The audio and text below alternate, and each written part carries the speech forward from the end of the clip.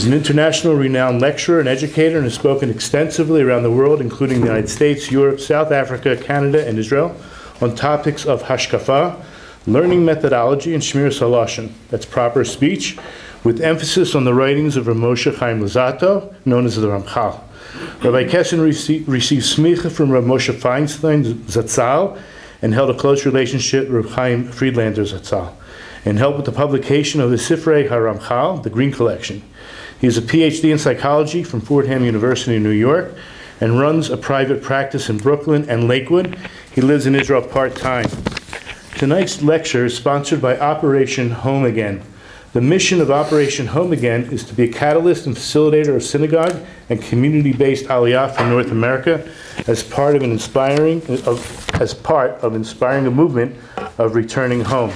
By the way, the website is operationhomeagain.com. The founder of this organization is in our presence tonight, Rabbi Shimon Apisdorf, who together with his dynamic team is building the premier organization devoted exclusively to community-based aliyah from North America. At this historic junction of unfolding opportunity for the last major diaspora community to return home.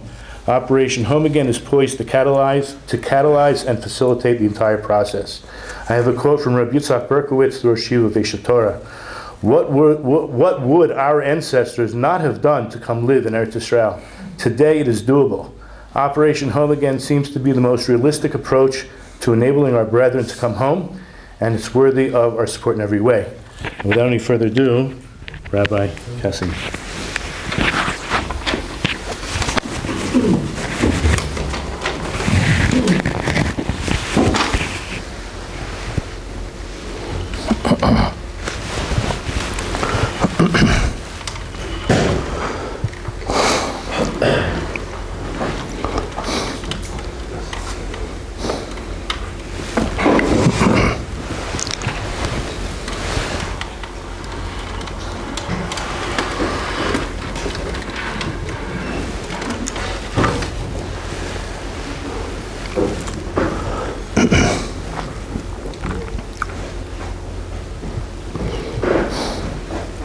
I've titled uh, this year, which I'm going to give tonight, The Meaning of an Insane World uh, at the End of Time. I think everybody agrees the world has turned insane. Uh, without going into all the pratim, all the details, because what we're seeing in the world has never really happened before, which I will point out, and so on, you know. Um, it's almost like the world has left civilized behavior. I mean, we take a look at what's going on, you know, and I will talk about that.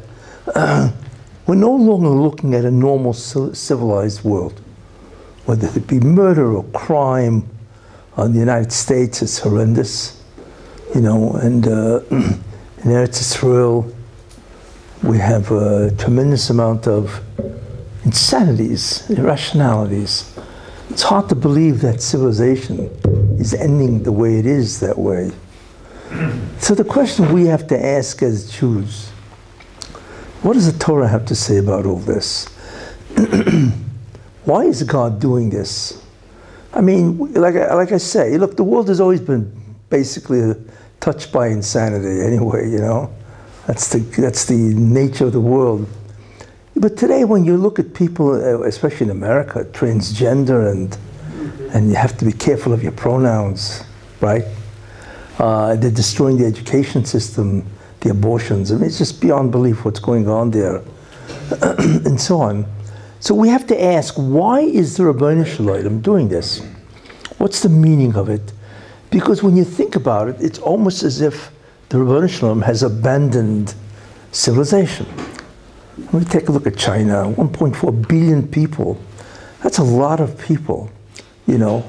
And um, it's basically a police state, terrible police state, and so on, you know. Uh, then you look at other countries and so on. the world, like I don't want to belabor the point, but clearly it's pervaded with insanities, things that make no sense. Not that civilization always made sense. You know, a lot of it is crazy. you know, but uh, now it's not. It's not because there are wars. It's just the uh, lifestyles that people have chosen. You know, run contrary to logic, what should be uh, the normal type of, you know, uh, civilizations. So that's the question. Well, in order to find that out, it's not easy. You see, even though actually it's been predicted in the Gemara, Sotah, Sanhedrin, that before the Mashiach comes, things are going to get really crazy, really desperate, negative, and crazy. Why? Why does it have to happen that way? That's the question I want to answer. And I'm going to bring down basically um, the understanding of that. What does the version want to achieve? And you will see the outcome of this is that if the world did not go crazy, or if the world did not act in this irrational manner, the Jews could not be saved. And that's a mystery. But you'll understand why the Bershom has to do this.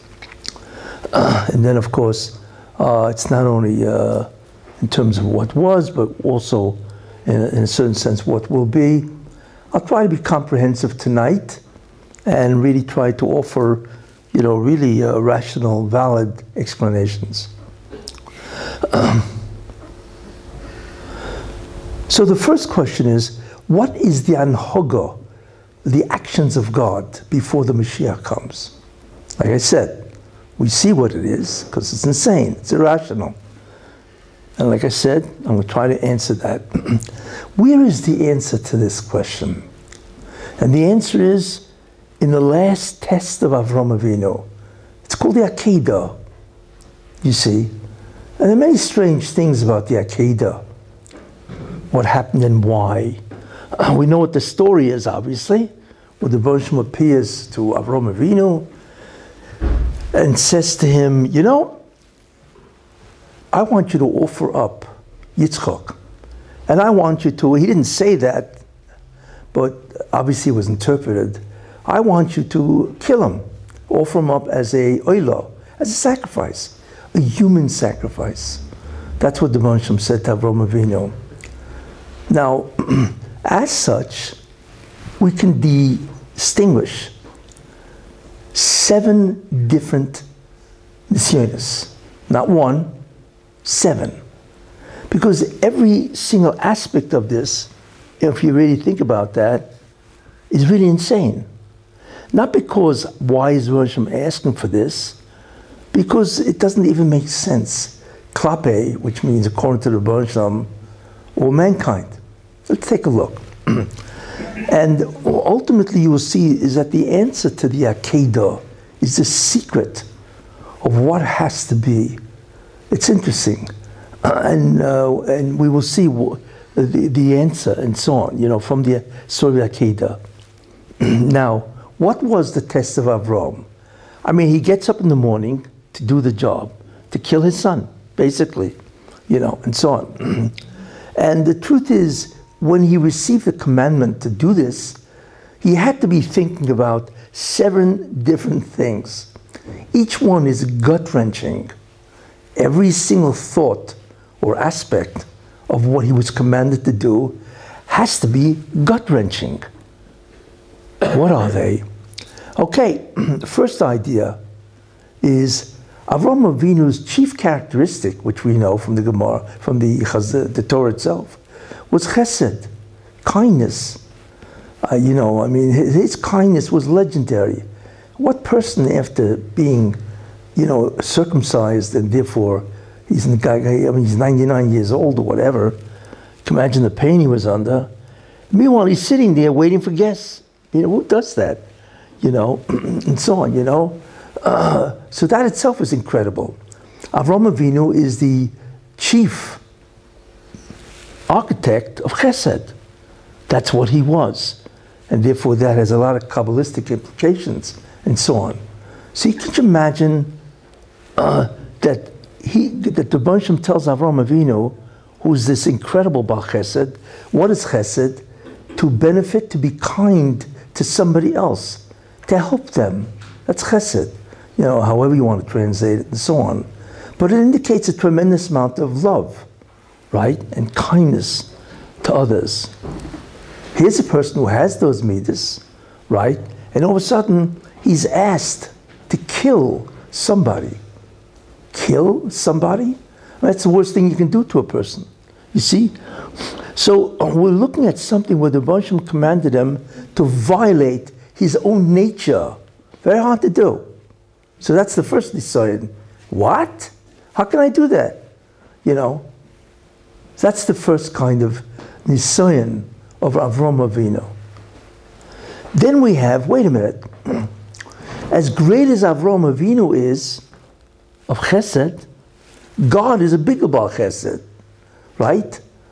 Chesed, the Barsham is the quintessence, the essence of Chesed. So why would the Barsham do that?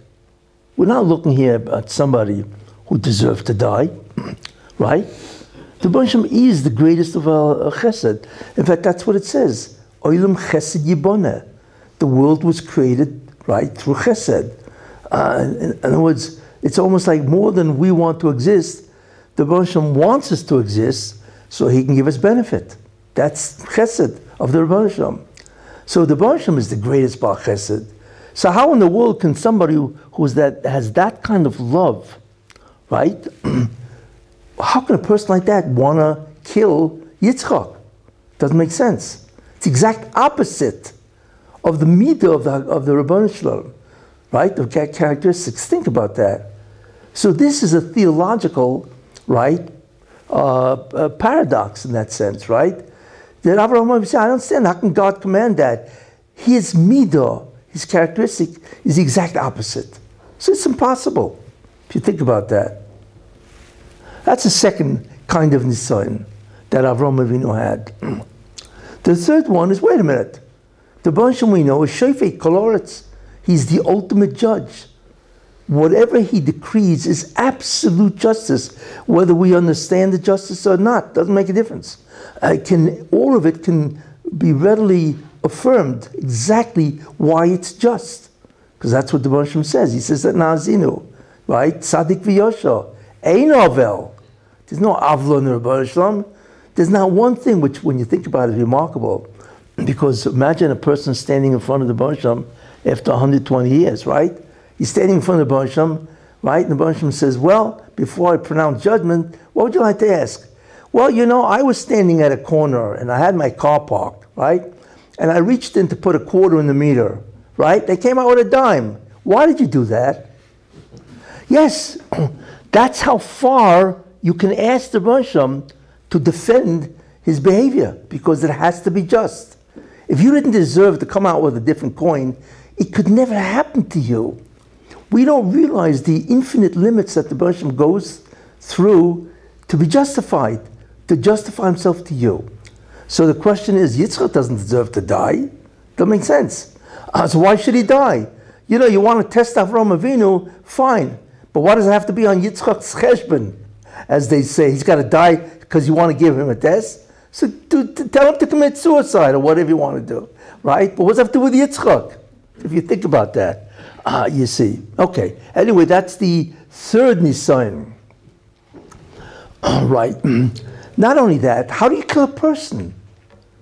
You know, we, Avram Avinu understood the value of human life. We don't realize what human life is. I mean, you know, the, the, the, one of the problems of this civilization is life is cheap. That's what it is. I mean, just take a along what's going on in America or Israel the crime rates are soaring. Israel, Rahmanas, people die all the time. It's incredible, it goes on. We don't realize the value of the chashivas of human life. Well, clearly Avram Avinu did. So Yitzchak is a human life, right?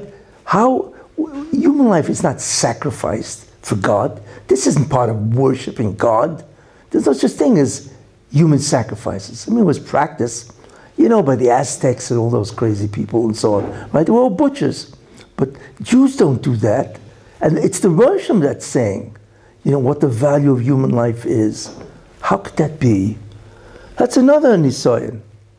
Then we call, of course, we come to the personal Nisayanas. It's his son. He's not killing a stranger. This happens to be his son. Imagine a guy being commanded to kill his child. Now, how many parents can do that? It's just absolutely incredible. You see, each one of these thoughts is gut wrenching if you think about it. It's not a simple idea. And I'm sure Avram Avinu, with his incredible intellect, is thinking about all of this because it's so obvious. You see, not only that, not only is it his son, guess what? He's the last Jew, right? You kill him, there's no more Jews, right? That doesn't make any sense. Why would the Rosh want me to kill the last Jew? Because Sarah was already what, you know, 90. I mean, uh, Yitzchak himself, no, what am I talking about? He was like 130, 140, whatever, you know. That's it for the kids, you know. Uh, you know, and so on. So he's essentially being commanded to kill the Jewish people, because if there's no Yitzchak, right, it ain't going to happen, as they say, right? So that's clearly an Nisayan, right? All of those things, I'm sure, bothered Avram Avinu terribly. But really, I'll tell you something even interesting, more interesting. I don't believe that Avram Avinu had a problem with these seven ideas. You know what the real thing that bothered Avram Avinu? It was a, theolo a theological problem. I don't understand something. The Bereshim gave me a nevuah, a prophecy, right? Kibi Yitzchak yikor. In Yitzchak, right, your descendants will pass. In Yitzchak. Why? Because the Jewish people will emerge from Yitzchak. So if I have to kill him, right, it ain't going to happen. Why? Because Yitzchak is not married. He has no kids, right? So if I kill Yitzchak, that's a complete contradiction to the, the, the nevuah, the prophecy, right, that the Jewish people will descend from Yitzchak. It's in fact, it's impossible. It is two completely contradictory prophecies. And that theologically is impossible because the Bereshim doesn't do that. How can the Bereshim say he will give rise to the Jewish people, right, on one side, and then the next side, kill them?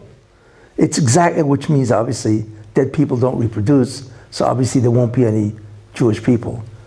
That is probably what bothered him the most because what it was was a, uh, a refutation of the rationality of God. And if that's the truth, if that's what happened, then it's a refutation of God Himself. Impossible. Uh, and, and, since Avram Avinu was a philosopher, incredible, he knew God at three years old, or whatever he was, 48, whatever, and so on, you know, this probably bothered him the most. It would, it would completely eradicate any belief of who God is. The contradiction of prophecy. There you are. I've just rattled off seven or eight different problems that Avram Avinu had, right? I mean, who could have overcome one of them, let alone all seven or eight, whatever? But Avram did. He got up in the morning. Vayash came Avram Baboika. It's incredible. You know, he didn't sleep late and said, well, I got time to kill my son, right? Let, him, let me give him a couple more hours, right? He got up in the morning, early in the morning, right? Saddled his donkeys, whatever, and he's on the way to kill his son. It's astounding when you think about that. So it's not the only the fact that, you know, Yitzhak has to die, but it's the different aspects of the concept that Yitzhak has to die. This is what disturbed Avram Avinu. Yet he did it. You see. Now, we have a question. Why did the Moshe do that? Well, let's understand the nature of this test, right? Many times, by the way, what the Russian really did wasn't this, because he said, He never told Avram Avinu to kill him. He just said, bring him up as an offering. That's it. So that's how you escape the whole theological paradox, you see. But Avram Avinu interpreted the statement correctly. Obviously, if I have to bring him up for an oila, well, it's not to decorate the Mizbeach, it's to kill him. It's the obvious conclusion, you see. So Avram Avinu interpreted the correct interpretation, but you can't say that the Hashem contradicted himself. He didn't. In fact, the Hashem even tells him that, in any case. Uh, so the question, what's the meaning of all this? You see, not only that, why was it the last test?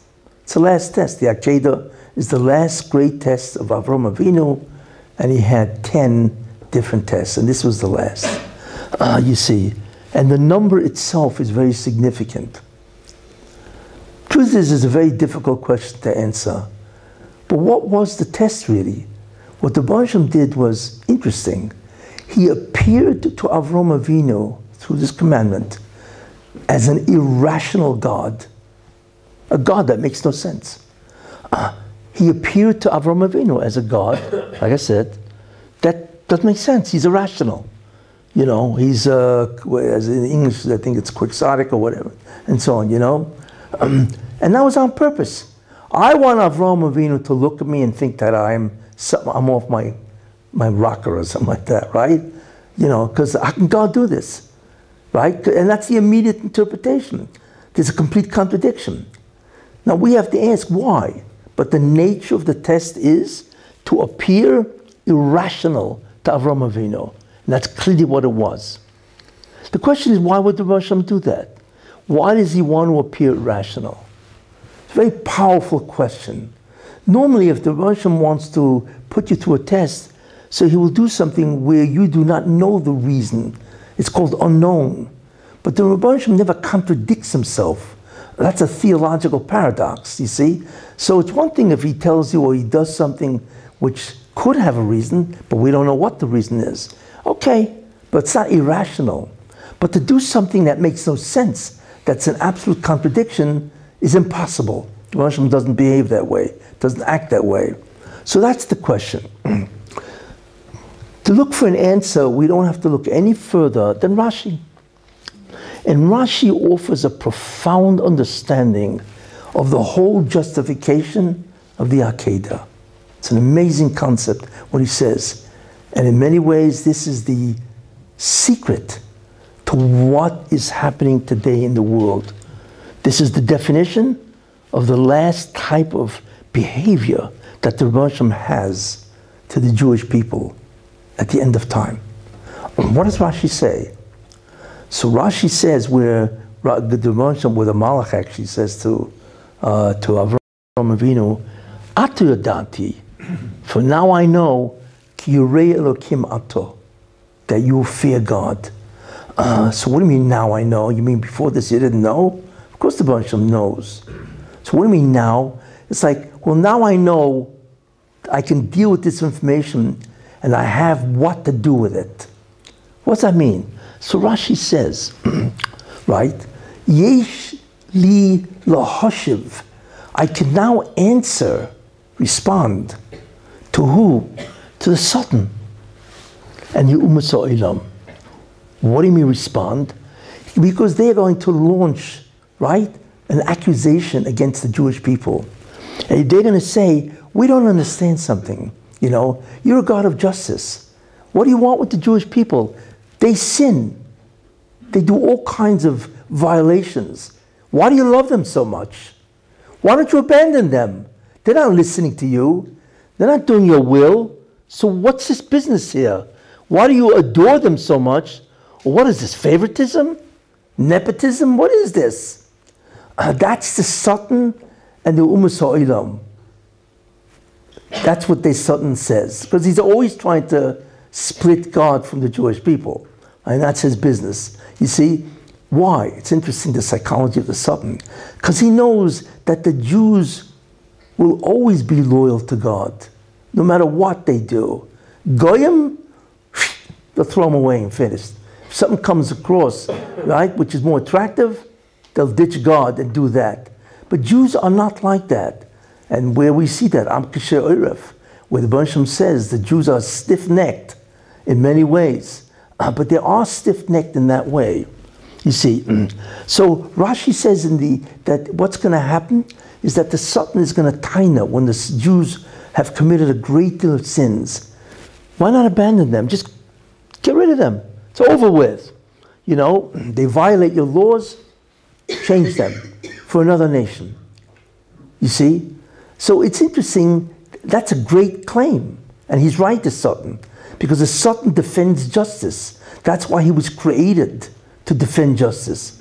So Bonsham can't just shoot him and dismiss him. No, he created the Satan to defend justice, right? He's the great prosecuting attorney. So it's interesting that the Bonsham had no answer. He could not justify why he does not want to abandon the Jews. I see. So it's unfortunate because who's the only one that him the answer? Is the Jew. You see, it's not a matter of logic here. The Roshma had no answer for justice itself, you see, until the Akedah. So that's what the Rashi says. Now I have what to answer, what the argument against the claim of the Satan. What is the answer? What is the, what is the answer that Moshe can now? Uh, because this is a very important concept. Uh, there will come a time, and that's why it's the last test, before the Mashiach, when the Jews, right, do not keep the mitzvahs, they sin. There was a study in London, for instance, that estimated there's 15.1 million Jews in the world. How many religious Jews are there? So they estimate there's 2.1 million Jews. What about the other 13 million? They're all gone. They're gone. Assimilated, intermarried, unaffiliated, they're gone. Spread throughout the world. You see? So what does that mean? Well, most Jews are gone. We don't realize that. And even in Eretz Israel, most Jews are gone. Yeah, there are Jews that are traditional, right? So they'll eat a, a matzah on Pesach. All right? Okay, that's nice. But right after the matzah, right? They'll do whatever they want. They'll eat chametz and so on. This is the problem. There will come a time when 90% of the Jewish people will be gone, right? And so the Satan's going to say to them, What do you want them for? Get rid of them. Take somebody else, right? Why? Not because I say it, the Satan says, because justice demands that you get rid of him and take somebody else. Why? Because they have violated the agreement. That's why. You see, what's the punishment going to answer? The Akedah. Why is the Akedah the answer? What did Avraham Avinu do that answered this? And the answer is what the Akedah really is. And that's why the Moshe appeared to him irrational. Right? Because what would any normal person have done? This doesn't make any sense. Hey, I'm giving up God. It's over with, finished. I am not going to worship a God that's completely, you know, uh, irrational. But Avraham Avinu didn't do that. What did he do? He said to himself, I have no understanding of what is going on. It doesn't make sense at all, and so on. But one thing I do know, I will not abandon God. I don't care if I don't understand it. I will not because I love the Shel Olam. I will not, and deep down, somehow, it has to make sense. That's why. what did Avram Avinu express? What Avram Avinu expressed was an unbelievable loyalty to God. In, in the face of irrationality, when anybody else would have abandoned God, he didn't. So this, this is the kicker. So the Basham turns to the Satan and says, You know, you're right. They violate the laws.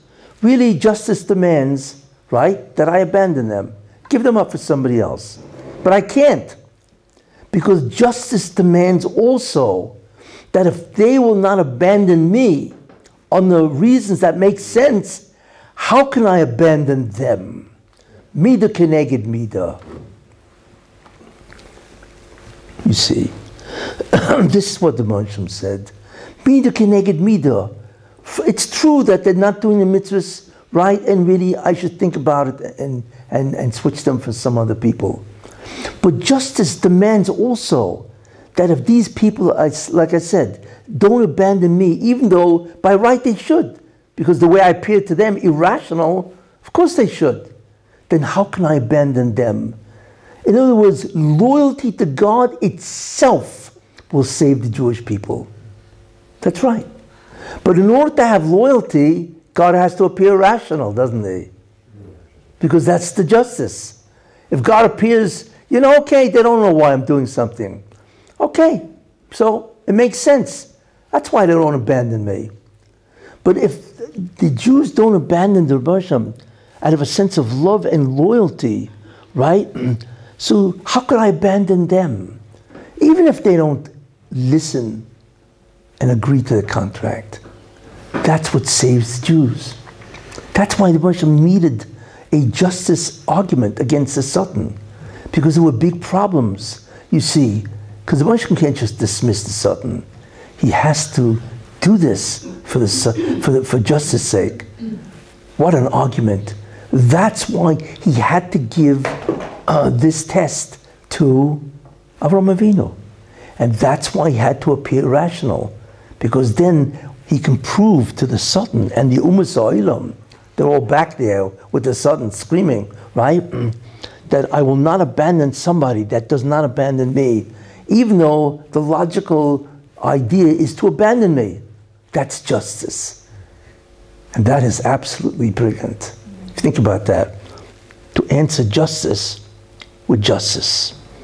And you can only do it until the Akedah. And Rashi says that. That's what he means. I now have something to answer because I have to justify it with justice. That's the answer. But the condition is, right, that the Jews will not abandon God even though God is irrational. That's not good. Because if God appears to us irrational, it's going to be very hard to figure out what's going on, you know, and so on. That's the concept of the, of the, uh, the uh, Akedah, why it's so important. and we begin to understand at the end of time, when the Jews, in a certain sense, have, in, in certain ways, abandoned God in the sense that they don't do the mitzvahs. But many Jews have not abandoned God Himself. Certainly a segment, right? They keep the mitzvahs. And even those people that don't keep the mitzvahs right, they hold themselves to be Israelis, right? Israel. To them is a, a, a holy country.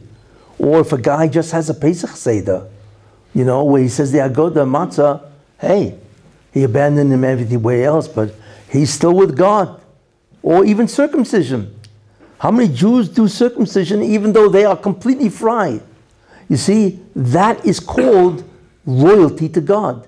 There are many different ways of being loyal to God. You see, so many different ways. And if you look at the Jewish people, so many of them, right, do some type of uh, mitzvah that indicates a loyalty and so on. Very important idea. So that's a very important thing to know. The concept of loyalty is what saves the Jews in the end. That's what does it. You see, and therefore the Bosham has to appear in an irrational way, so and that will be the test. Will they be loyal or not? Very important idea. Uh, and the truth is, the Bosham is doing that all the time. He's always, many times, appearing irrational. You see, let's take a look, you know. It says there, Kiyokim novi. And if, uh, in, in Dvarim, and if a false prophet arises and he says, I'm going to do a miracle, because you have to abandon God and worship other gods, right? And it says that the miracle passes, happens. Wait a minute, that's impossible. Because only God can do miracles, really. How'd this guy pull it off? You see? So that's irrational. So the Baruch says, why did I do this? Why did I allow this guy to do a miracle? And the Baruch says, to see, not that if you're going to do the mitzvahs or not, by not worshiping idol. He doesn't even say that. He says, because I, if you take a look at Dvorim Pashas Rei, he says, Hayishchem oyavim, do you love God or not? Doesn't talk about the mitzvahs. Do you love God? to the extent that you're going to be loyal to me. So even though you're looking at something irrational, because how did this guy do a miracle? It has to be that God allowed him to do the miracle. Well, that's a complete contradiction to belief in God. So Moshe says, I'm going to pull, pull this off. I'm going to pull off this complete irrationality, right? To know, do you love me or not? Do you, are you still loyal to me? Doesn't mention a word of mitzvahs, which is interesting. Let's take a look another time when you had this problem. the Chet Egel. The Moshe wanted to destroy all Klal Yisrael, in a certain sense, right? And Moshe Rabbeinu had to go up and pray, right? That God should not destroy the Jews. On the contrary, right? so Moshe Rabbeinu says, he finally comes down the mountain, throws the luchas, the tablets at the bottom of the mountain. What does he say? He doesn't say, all those who didn't sin, me, it doesn't, it uh, me, all those who didn't sin, please come over to me. He doesn't say that. He says, Mila Hashem Elai, who is to God? Let him come to me. What's the difference in language? He should have said, all those people who didn't sin, you guys come over, and the rest of the people will be punished. He doesn't say that. He says, Mil Hashem, who is ever to God, come to me, which means that even though you sin terribly with the Chet Egel, if you are still with God, loyalty, come over to me, you're okay. You'll have a kapora. It, it's amazing when you think about the language that he said.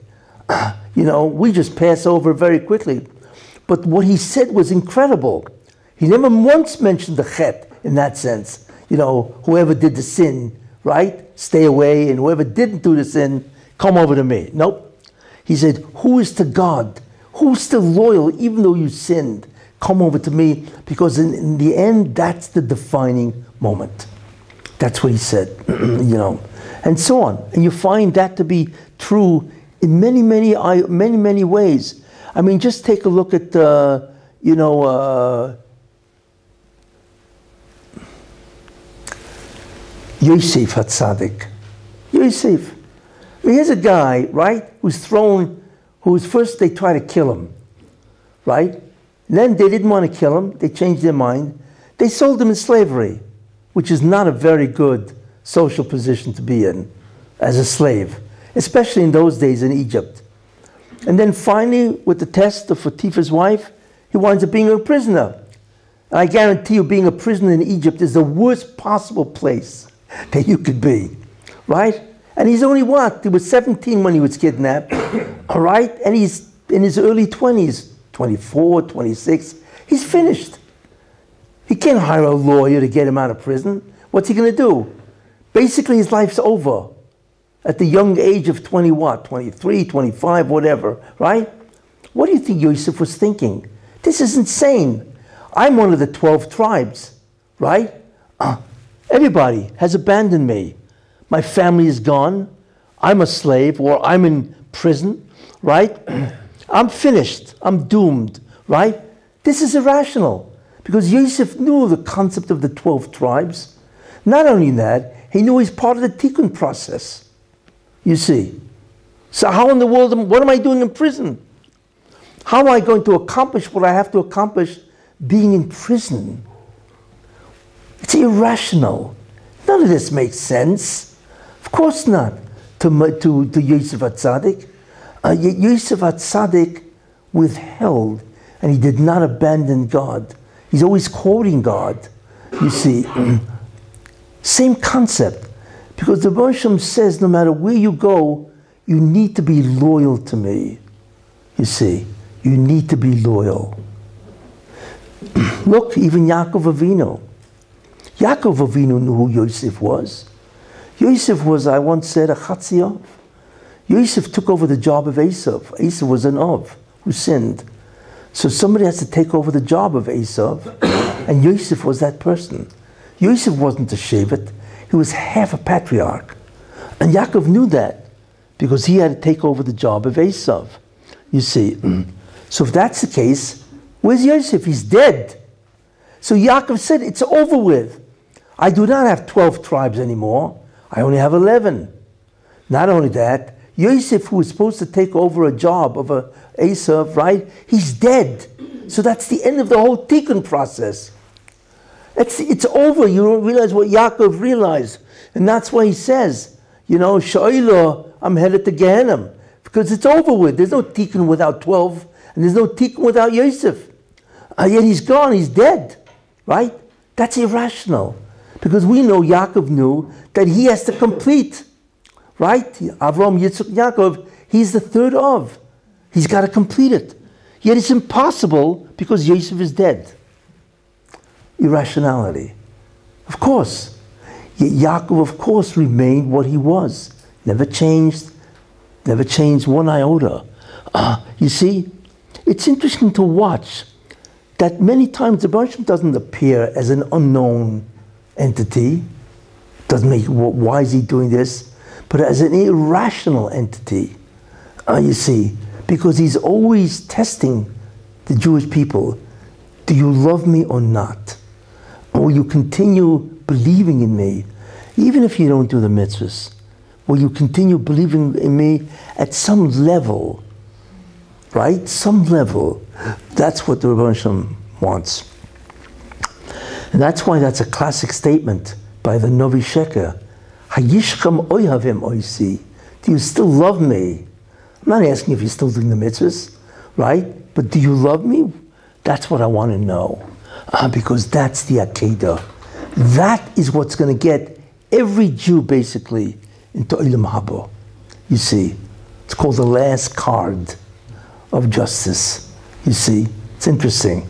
Uh, that's why the Baruch created, and that's why he gave Avram Avinu that midah of that midah uh, of irrationality. Then, of course, we come to Egypt. Egypt is incredible. The Jews are Memteshai Tumah.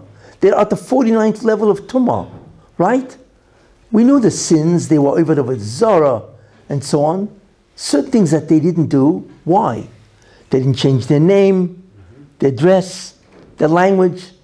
Ah, that's the loyalty, you see.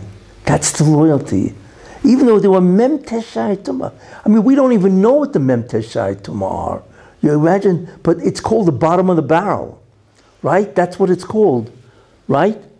Yet the Rosh redeemed them. Why? Because they still had the loyalty of that. But it wasn't enough, you see. Because here's Moshe Rabbeinu, right? Moshe Rabbeinu is the Mashiach. The Rebbe visited him at the sneh, which is what? The uh, uh thorn, the bush, right? And tells him, "You're the guy. You got to take Klal Yisrael out of Mitzrayim. He's the Mashiach." As soon as Moshe Rabbeinu gets to Egypt, what happens? Gets worse, much worse. Where Paro says, "Well, they're lazy. Straw." Now, not only do you have to build bricks, make bricks with straw, guess what? You need to gather the straw at night uh, because the amount of bricks has to remain the same. Can you imagine what that is for months? They're gathering straw in the middle of the night, right? They have to go through Egypt, and they didn't have flashlights in those days, right? And go and gather straw in the fields. It's insane. But the kicker, the irrationality was, this was after Mashiach came, not before. So a guy would have said, This is insane. This doesn't make any sense. How could it get worse after the Mashiach Moshe Rabbeinu come? It's impossible. This whole thing doesn't make sense. In fact, not only the, Jews after probably had that thought, Moshe Rabbeinu had that thought. He comes running back to the Basham and he says, uh, right? Why are you doing evil to this people? Right? What in the world does that mean? Well, Moshe had a right to un- not understand the Moshe because it was irrational. I'm the Messiah, and it got worse, right? And he says, "You didn't, uh, and, uh, you sent me to redeem them. I didn't redeem them. It got worse, right?" Um, so Moshe Rabbeinu could have asked the Moshe, "You know, maybe you share with me what's going on here," but he didn't. He judged God and found him guilty because he said, "Lo mahare oiso." Why did you do evil to this people? What does that mean? Means he judged God in his mind, and God was evil. That's what it means. So the Bansham says, so obviously, wait a minute, what happened? Moshe Rabbeinu was not loyal. Bad news. You see, uh, he failed, Moshe Rabbeinu failed the test of loyalty. And that's why the Bansham says, it's amazing when he says, Rashi brings it down, when the Bansham says, Chaval di Avden, Ah, I used to have tzaddikim like Avram Avinu who didn't question me, right? When he went to go and buy, I said, I'm giving him Eretz Yisrael, and he goes and buys the Kevin Chevron, he paid good cash for this, right? He didn't say, excuse me, why am I paying cash? Uh, I own this country. He didn't question me. And then Yitzchok with the Bears and so on, all right? So the Rosham says, ah, where are these guys? They were loyal. They never, they were not mahara after my midas. They didn't question my midas. You? As soon as I, I introduce a difficulty, you're already judging me to be guilty of evil? We cannot even begin to understand what that was. In fact, he suffered severely because the Bansham told him, You failed the test of loyalty, right? So, as a result of that, you will not redeem the people. You will not go into Eretz Yisrael. So the Bansham tells him that. Ato, now you will see what I will do to the 31 kings. Now, right? But no, Ato, now you will see what I will do to Parai. But you will not see what I do to the 31 kings because you will not bring them into Eretz Israel. He failed the test of the Mashiach. He was Mahara after the Midas of the Banshlam. No loyalty. Avram Avinu would said, I, I don't understand, but I do whatever you want. It's got to be good. And Moshe Rabbeinu didn't do it. You see, so he failed the test of loyalty. What about the Jews? Why did the Banshlam do this to the Jews? With the Gzera, uh, you see, where they have to gather the store. And the answer is because he wanted to test the loyalty of the Jews also, right? Imagine after Mashiach comes, it gets worse, much worse.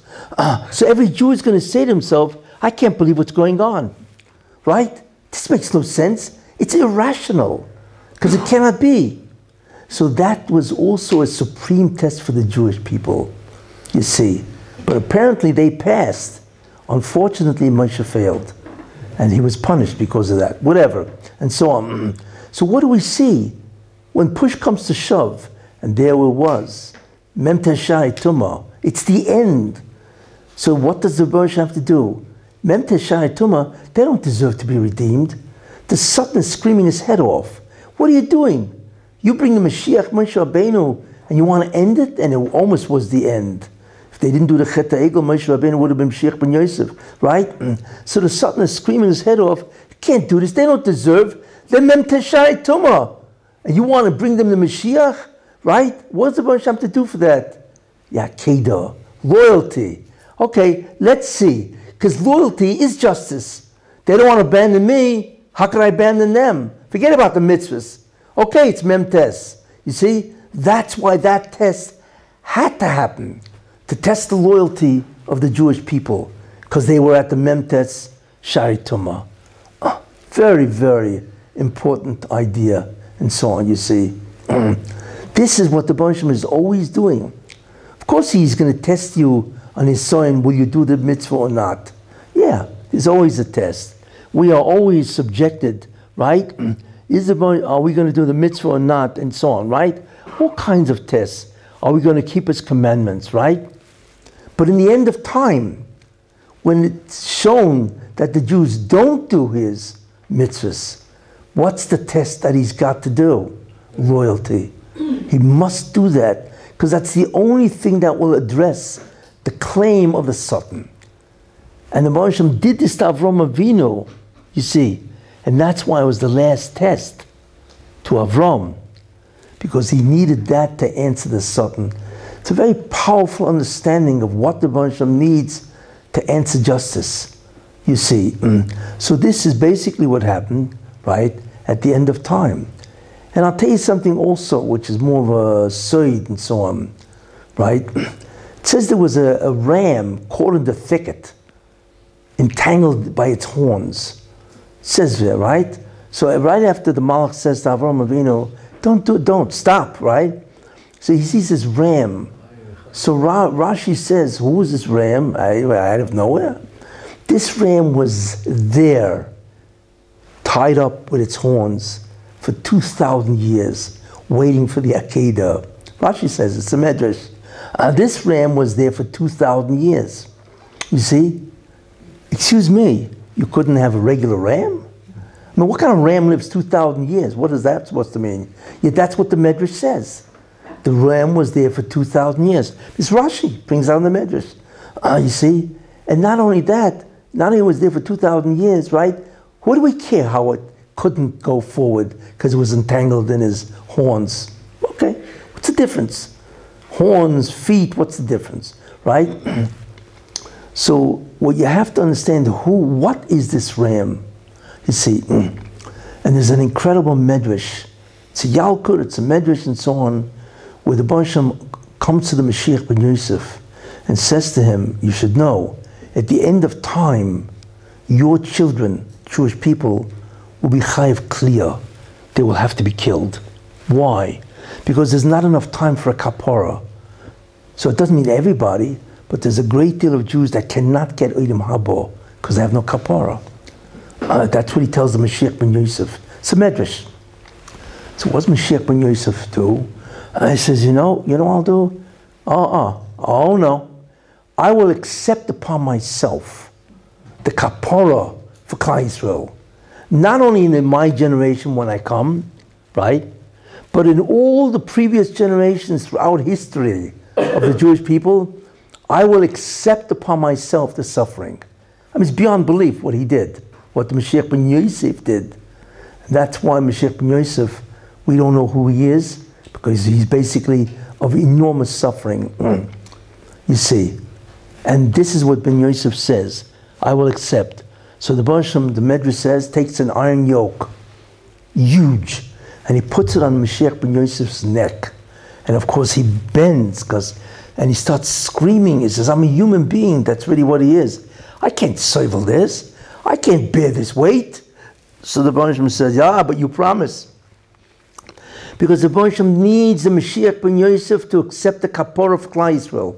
He needs him. And so, because if not, a lot of Klal Yisrael does not get Olam Haba. It's an incredible medrash.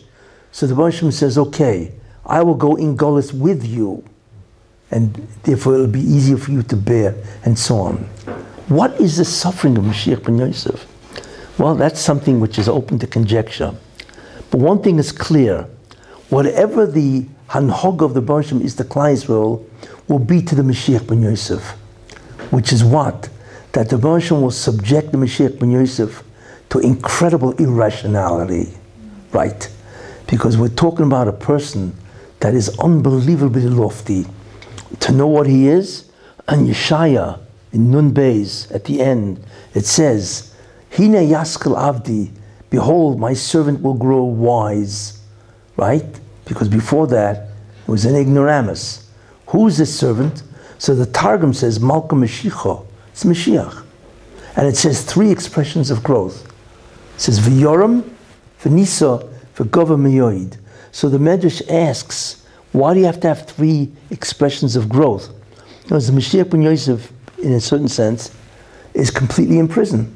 That's his Yisurim, right? And then it says that he will get out of the prison and become Mashiach ben Yosef. So what is the first V'yoram? And he will grow, right? So the Medrash says he will be greater than Avram Avinu. Imagine a guy being walking amongst us greater than Avram Avinu. Then the Medrash says, what about Vanisa?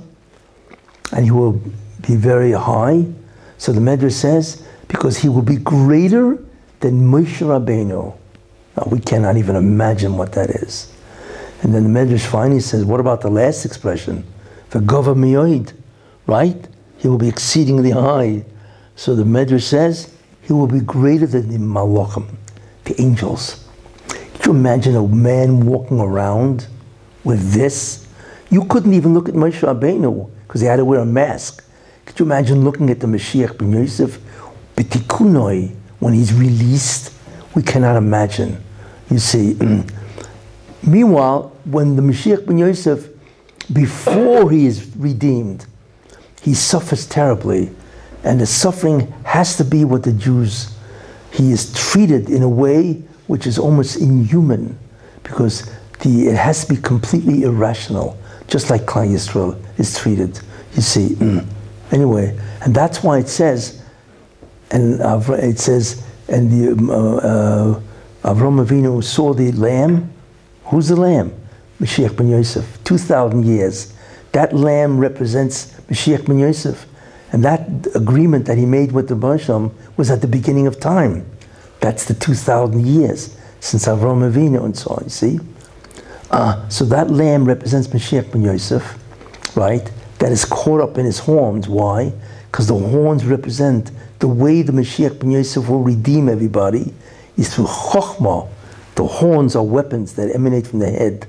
Chokhmah, wisdom, enormous wisdom, which by the way is the messianic light, will also, that's what, how he redeems everybody, and so on. This is what will happen. Why? Because it says there, and Avram Avinu offered this ram tachas benoi instead of a son. What says tachas benoi instead of a son? It should just say he offered the lamb, the ram, right? What do you mean instead of a son? Because really Yitzchak should have been on that altar. So he needed a substitute. So he found the Mashiach ben Yosef to be the substitute.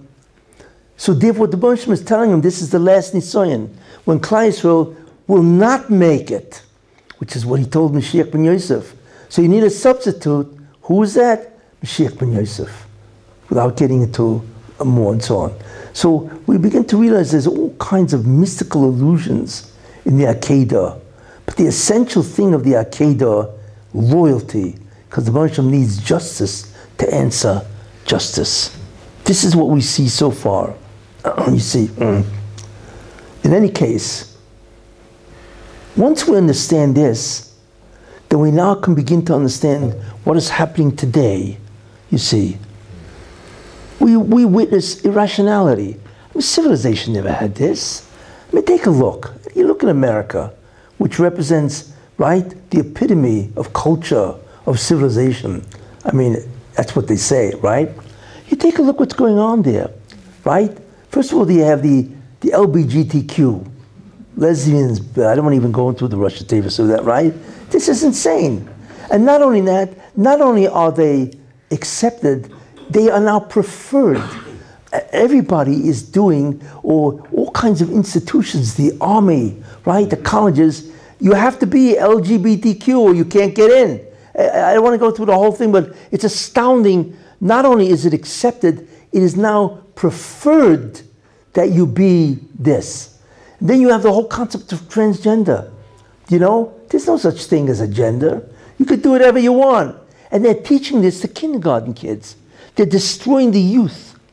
This is what they're doing in America, right? So not only is there abortion where they kill the kid before he's even born, right? Up to the day of delivery. That's when you, you can kill the kid up to the day of his delivery. Do you believe this? Talk about pure murder, right? That's what's going on. So first, they're okay with killing the kid. And then there's some Michigan, I think was the Virginia, Virginia uh, governor or something like that, who said, no, even after the kid is born, you got 24 hours, you want to murder him or not. You know? So if you and your, the mother and the doctor come to the conclusion that they don't want the kid, kill him after he's born. I mean, what, what is this? You know, it's a bunch of murderers. That's basically what it is, right? and then you have pronouns. You can't say he or she. You violate their rights. You see, you have to say people or, or whatever nonsense they come out. And it's, it's colleges. I mean, you can't believe what's going on. You see? Uh, then you have that. Then you have all the insanities, you know, the President of the United States, who obviously is uh, it's just beyond belief how he's president and so on, you know. but uh, you have the inflation, you have the crime. 29 cities in America where, is the, where the murder rate is now through the roof. The murder rate, because they want to defund the police. Of course, it's the police that's the fault of all this. I mean, is it, are they crazy? I mean, you know, uh, in terms of without the police, you know, it's like uh, there's no mora malchus. And uh, Pirkei says they would swallow you whole if, you, if there was no Mora Malchus. Is not just the courts, it's the police and so on. I mean, when you think about it, it's insane. Then you have the tremendous rise of anti Semitism in America and around the world, right? Then you have what? You have, uh, uh, in, in, terms of the, uh, well, Eretz Israel, the Arabs kill, right? And one of the things that are absolutely incredible Finally, they're waking up, you know. But uh, how in the world do you prohibit people from carrying a gun? It's incredible. Every Arab knows that every Jew is a sitting duck. He knows that. You can't defend yourself. You don't have any weapons, right? So he can go and kill you. Uh, those seven people never who died, had they guns, maybe a guy would have got away with killing one, but the other people would put out their gun and kill him. Of course, they're all sitting ducks. Uh, you know, Israel, in a certain sense, has become a very dangerous country in that sense, where it could strike at you anywhere. So how could you prohibit people from defending themselves? So the whole thing is irrational, you see. And I'm not even talking about the previous government of Lapid and Lieberman and so on, you know, with the irrational, the war against the Haredim, the war against God, because that's basically what it is, you know. Then you have what's going on in the world. You have Putin against Ukraine, it's wiping out Ukraine. Then you have China, Xi, right? He, he he's, uh, wants to control 1.4 billion people. The world is filled with evil, irrationalities. So therefore one would say, you know, whatever happened to God? It's called less din less dayan. There's no din, there's no justice anymore. Everybody can get away. And what about that World Economic Forum that took place, you know, that, that crazy conspiracy, conspiracy and so on, you know? Um, the world has become a, not only an evil place, it violates the rules of civilization throughout, you see. so one wonders, where is the Ribono Shel Olam? Whatever happened? It's not just the Holocaust.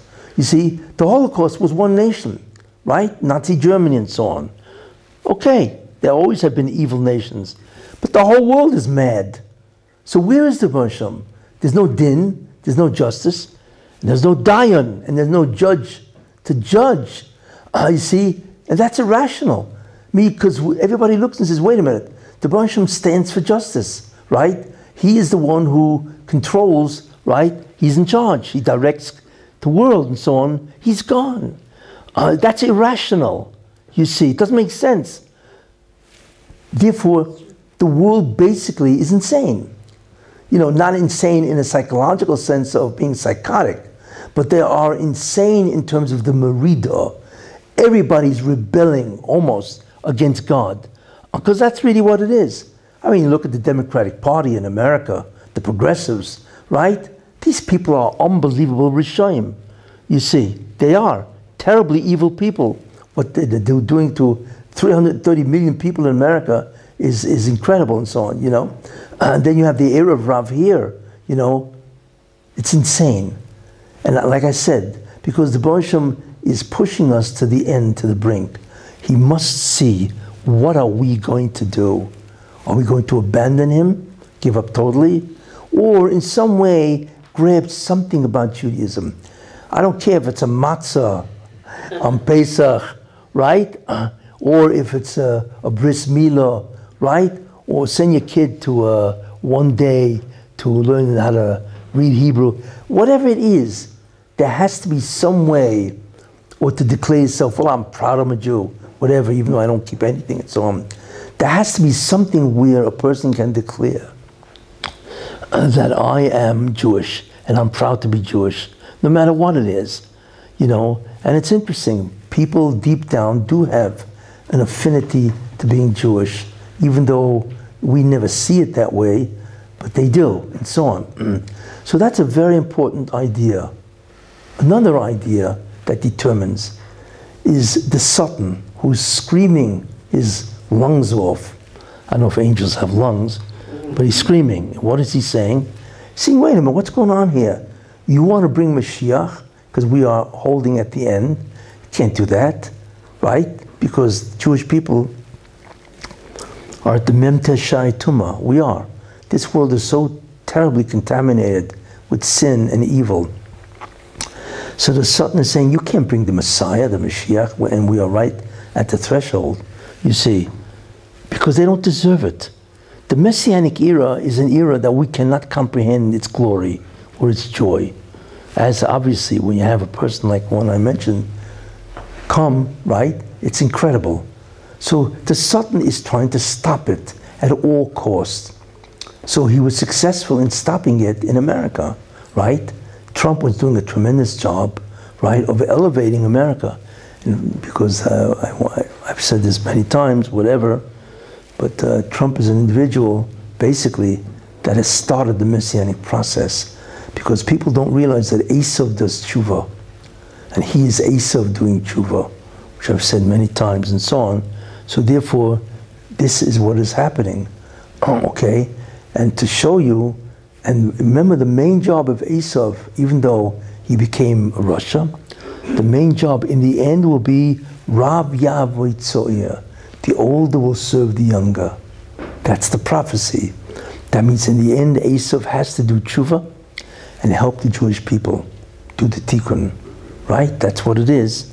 And therefore, in the end of time, Esav will do tshuva, who I feel is Trump. Abraham Accords. It's unheard of, right? That he did that, right? And that when he gets back in, which I feel he will, and finish the job, right? Finish the job. It's not, don't even think about counting him out. You know. So there's a, between now and then, a lot of water is going to pass under that bridge, all right, and then so on. You know, uh, and there are many reasons why. You know, very possible that DeSantis won't even challenge him, because for him, his sake, he should not.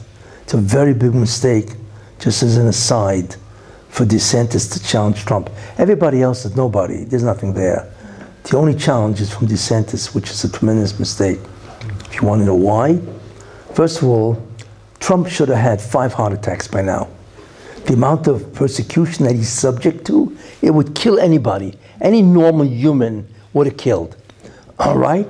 And he's just like water off a duck's back. It's incredible. DeSantis is not proven. He gets that kind of stuff, right? Opposition, he can drop dead in a moment. You, I mean, could you imagine what it is to be sued every moment? Do you know how much money you have to have to hire lawyers? I mean, it's, it's astounding what he's got to go through. And who's after him? We're not talking about some local guy in the street. The federal government is after him with the DOJ, Department of Justice, the FBI, right? The Intelligence Department. They're all after him. Could you imagine? And they have unlimited resources. So he is proven. You see, he can survive. DeSantis is not proven at all. And I want to tell you something. They're going to make schmutz out of DeSantis. The progressives, the Democratic Party, if he's nominated, they will destroy him.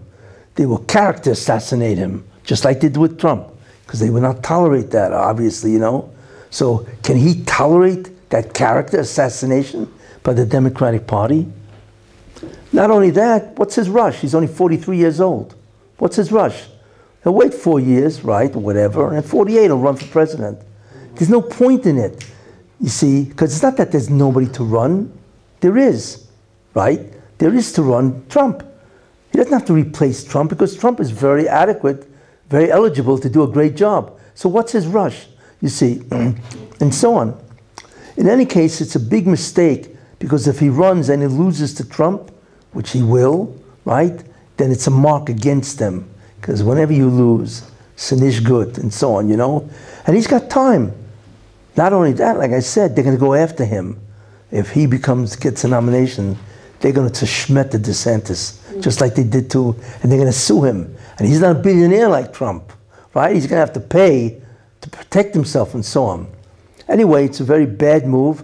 I hope he remembers and he thinks about this. And he drops out and says, I, I don't need to do this. I'll do it after Trump retires because he can only run one more term, term and so on, right? And so on and so on. But in any case, this is what's called the low, the lull in the messianic process. Why? Because of the Satan. The Satan says, you want to stop the world, right? Because of the Memteshai Tumah? No, you can't because the Mashiach is a person that will, is sublime. It's incredible what he'll do to the world. And nobody deserves it. So Banishim says, you're right. So I have to make the world suffer. I have to satisfy justice, right? So we already know one way to do that the test of loyalty. I need justice to answer justice. So the test of loyalty is one way. The second way is to satisfy the Satan, right? And introduce tremendous yisur and suffering, which is also what happened in Egypt. You see. So therefore the Banshim decided that he's going to stop Trump because it's going too fast. He's got to satisfy the justice, right? And make people suffer. So of course, how did he do that? It's amazing what the Banshim can do. It's simply amazing. COVID. Because of COVID, uh, uh, Biden was able to hide in his basement and campaign, right? Nobody knew that guy's, uh, what is he, uh, absolute moron. nobody, nobody knew that because he was in his basement because of COVID. This is why, you see. So the Brunisham brought COVID to allow Biden to win and make United States suffer. And the whole world is suffering because of that. You see, not only that, he destroyed the economy, which is Trump's signature uh, law. He destroyed that. You see, all of this is putting on hold. It's the equivalent of Biden is the equivalent of the gzera of straw in Egypt, where he put Moshe Rabbeinu on hold, right? On hold because they didn't deserve it. You needed a test of loyalty. You had to satisfy justice with more suffering and so on. And then he could bring Moshe Rabbeinu to destroy Egypt. Same idea. So I believe that Trump's coming back in 2024 and so on, because then Biden. Now, where do you see this? Because you already see that these guys are losing already. In America, right? Biden's losing. I mean, how does a guy have top secret documents all over his home? You know, it's almost like I expected him to use the top secret documents for wallpaper in his house. You know, you're looking at the wall, there's a top secret document here, there's one over here. It's insane. These are top secret documents. These are the most guarded documents in America. And they're all over the place. They're in a garage right next to his Corvette. They're in his office. They're on his table. I mean, well, is, is, is he out of his mind? Yes. That's really the answer. Answer your own question, right? And so on. So therefore, he already, people realize there's something wrong with this guy. It's incredible. You can't even trust this guy with top secret documents. So you see the Boisham is, also, is already after Biden to, to get rid of the guy. It's a very good sign. Very good sign. So it's telling us, right, that the end is very near. Which Boisham says, enough is enough. I want to redeem the Jewish people. And in Eretz Israel, same thing. First time in history, right, that the government of Israel has nobody on the left. Nobody. Right, nobody. It's amazing. It's Bibi and it's also the Haredim in the right, the, the right and so on. You know, uh, there's nobody on the left. There's no Lapid. There's no Lieberman, right? There's none of these, and there's no merits. They're completely out. That was a miracle.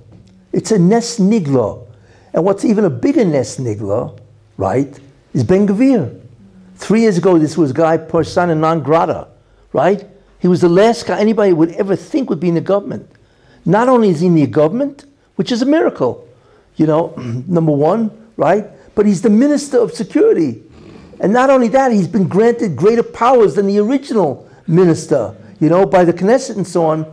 How in the world did this happen? It's interesting to look and see what the Bonsham seems to be doing.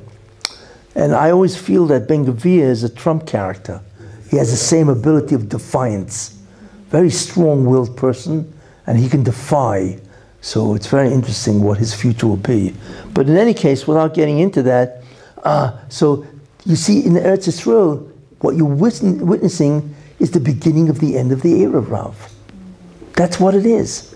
And the Erev Rav, right? America's at war with each other. The good part of Esav and warring with the bad part of Esav. That's really what's going on.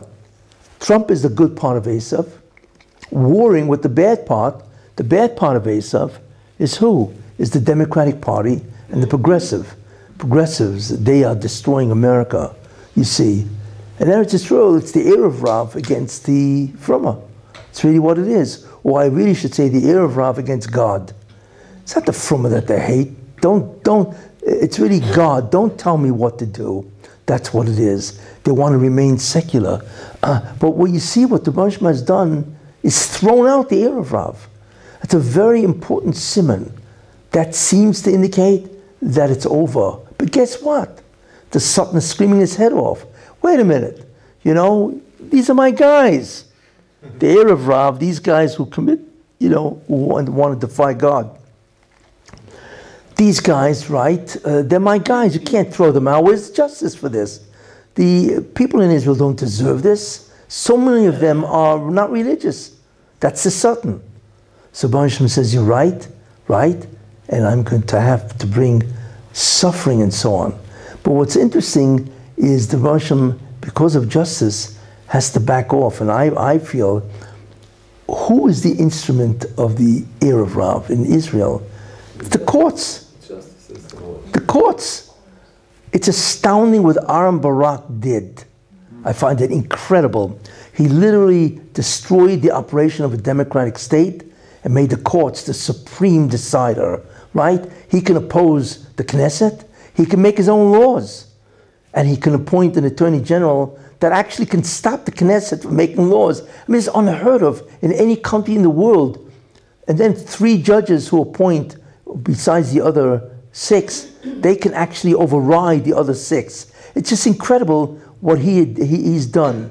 Uh, you see, because the court is the last vestige of the Erev Rav in the government of Israel to destroy the religion. That's really what it is. So the Satan won, that Taina. You can't do this to my guys. The mention, okay, I'll relent. I'll bring, uh, you're right, I'll take one of my guys and throw him out. Who? Deri. That's why Deri got thrown out. Because that, that was a concession to the Satan. I, I have to concede, because he's, he's saying they don't deserve, they don't deserve uh, Mashiach now. So Mention is okay, so I'll weaken my side, which is the from side, Haredi, and therefore they won. So they, they threw out of the government a guy who was a major force. You see, you, you realize everything is orchestrated in an incredible way. This is what's happening, you see.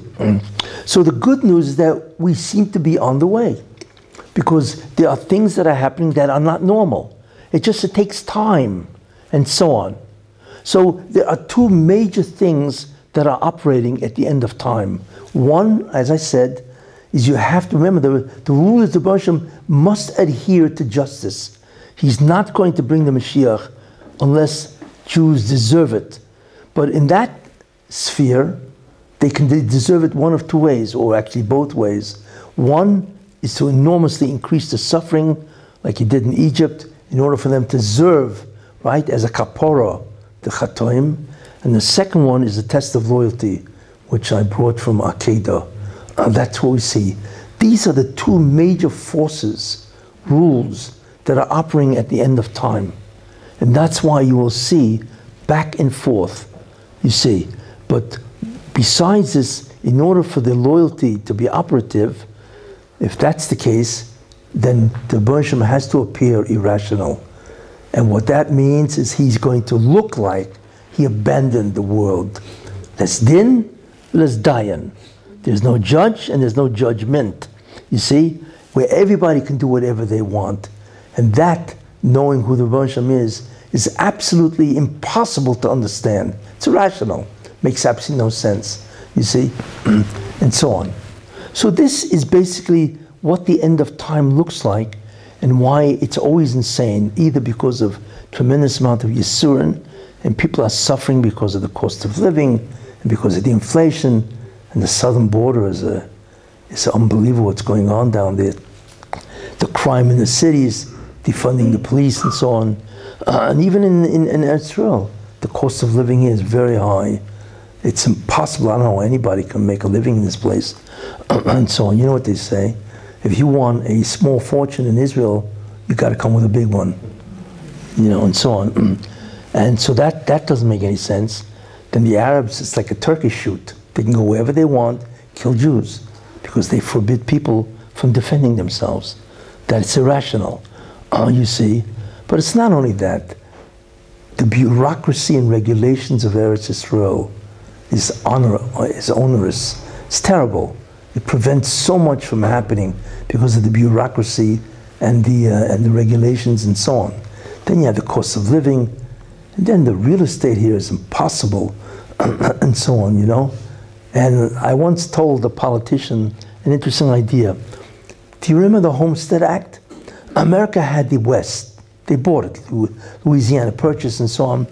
They had to settle it, but that's 3,000 miles long or 1,500 miles long, right? How did they settle the West? They did the Homestead Act. They said, we will give you an acre of land for free, but the deal is you have to build on it. So people move west. Imagine if Israel would say, the Negev. Whoever wants can have an acre or dunam, here it's a dunam, right? For free. Or we'll charge you a nominal fee, right? 10,000 shekel, whatever, right? But the deal is you have to go and develop it. What an idea. That's exactly what America did. And that's how they, right? That's how they occupied the whole America and so on. I guarantee you, if it did that, right?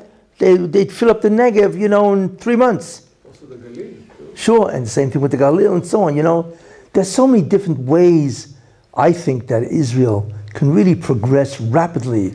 You know, if they would get rid of that leftist progressive mentality, which in many ways destroys the potential of Israel.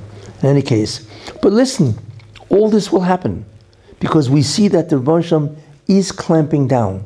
That's what we see. You see. So therefore, I believe that it will happen. You know, hope, perhaps with hopefully with this government or whatever. And uh, I mean, now you know everybody's worried about the security, so I think they are becoming more rational.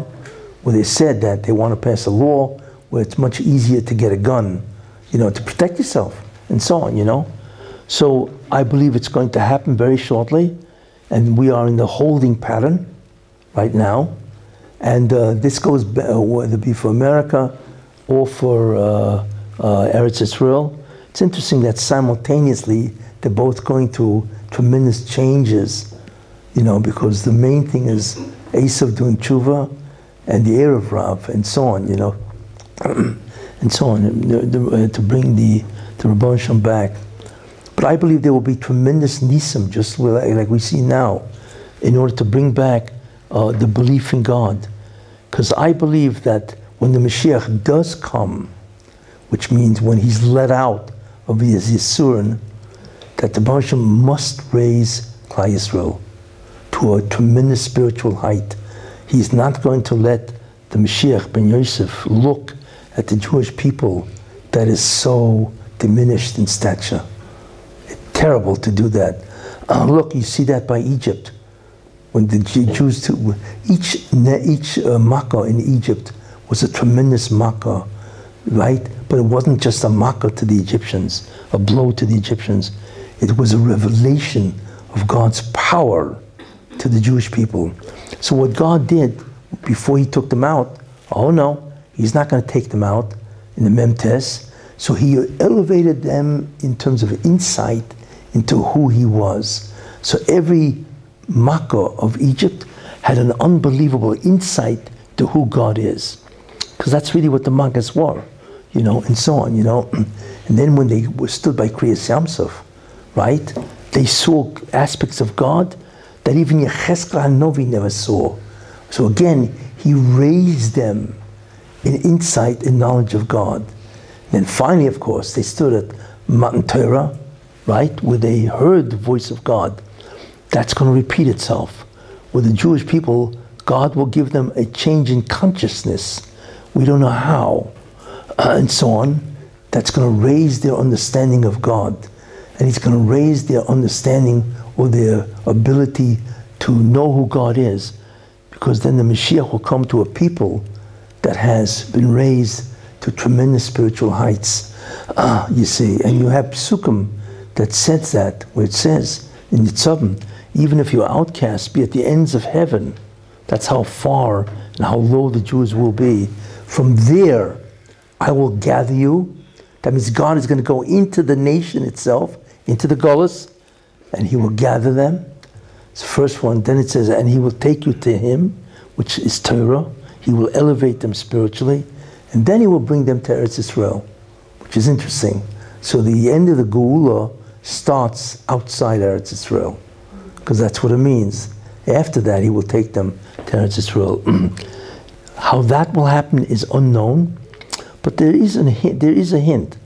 Most people don't realize what the third Beis Hamikdash is, but apparently the Gemara holds and it brings proof to Yerushalmi and Maaser Sheni that the Beis Hamikdash will be bu- built not in the time of Mashiach ben David, it will be built before Mashiach ben David. Who's that? Mashiach ben Yosef. That's when it will be built. So wouldn't it be something if you woke up one morning, right, and you just happen to be looking at the old city. And guess what? There's a third Beis Hamikdash. Wouldn't that be incredible? That would wake up the entire Jewish world like nothing can, right? It would shock the entire planet. And it would begin uh, the end of the exile, the building the Beis Hamikdash, and the entry of the Mashiach himself to Klal. So, it looks like it's going to happen very shortly, I hope, right? And uh, look, let's be ready for it. But remember, the key, mi Lashem Eli, who is unto God, loyalty, no matter what you do, don't abandon God. That's the key we receive from the Akedah. And then you will surely be in Olam Haba because of that alone. Thank you.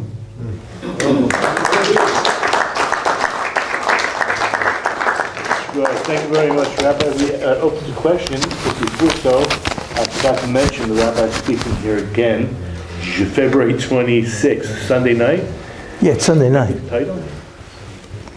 Anyway, Purim. something to do with Purim, and uh, so, also, Bezrat Hashem will have Maariv tonight after, guys can stick around. Any questions?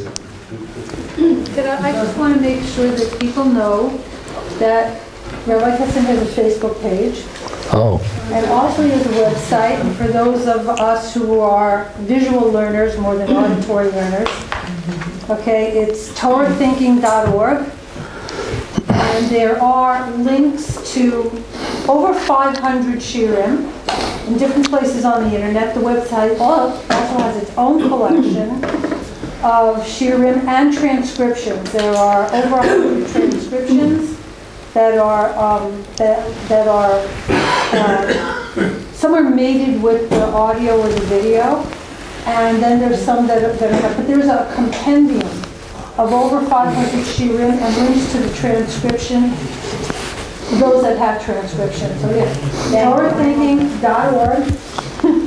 It's an amazing resource, truly. It's, yes. So where does the war of Gog and Magog fit into all this? That's a very, very good question. Could the world repeat every question, at least this question? Well, the, the woman would like to know where is the war of Gog and Magog? Okay? The truth is, the war of Gog and Magog is a war, obviously, but a lot of people don't realize that that war is a war against Mashiach ben Yosef. You see, it's a war against the Mashiach himself. So that war can only transpire after Mashiach ben Yosef comes. Right.